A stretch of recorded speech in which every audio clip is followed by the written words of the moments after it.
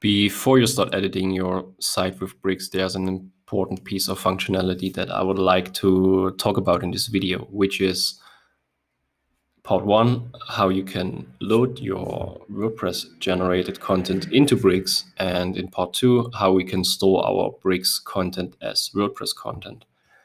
So I just want to give you a real world example. So I'm in my under my pages here, and you can see I've got a few pages that I already edited with Bricks. And this one, for example, is not edited with Bricks. It's generated with um, Gutenberg, or you can also use the classic editor. In my case, it's Gutenberg. And you can see I've got a heading here, I've got a paragraph and this image. So if I would like to take over editing with Bricks and I click here, you will see it's going to load up the builder and it's going to show us an empty canvas. This is because by default, your WordPress generated content will not be loaded into bricks. You always will start out with a clean and empty blank canvas. But if you would like to use your existing WordPress data and just basically customize it within bricks, then what you can do, you can go to bricks settings and then you scroll down and you have this option here, which is the convert WordPress content to bricks content setting. So it's set, also a short explanation here. It runs when the builder is loaded on pages without any bricks data.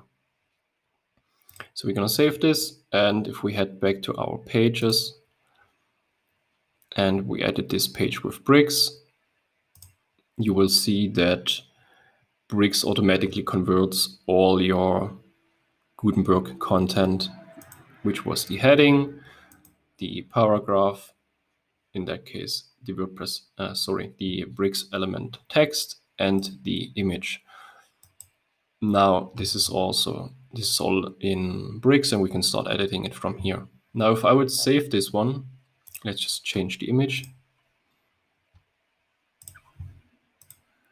So I change this image.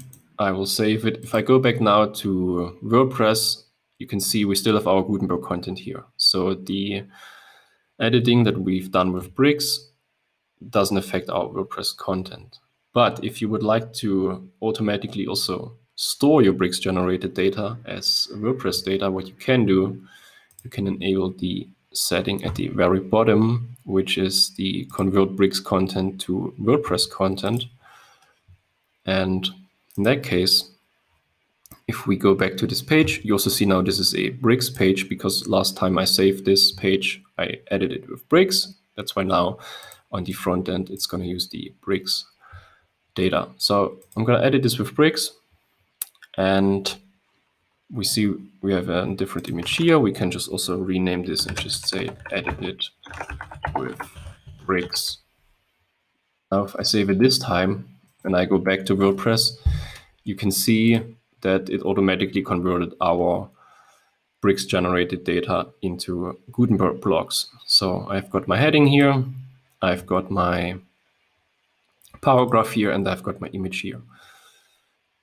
Now, if you would customize this, and we're just going to add some dots here, and we save it now,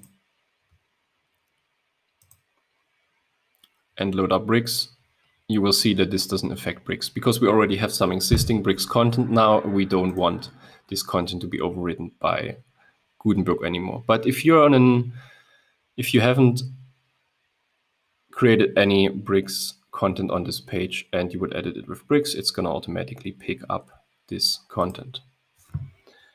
And that's basically it. See you in the next one.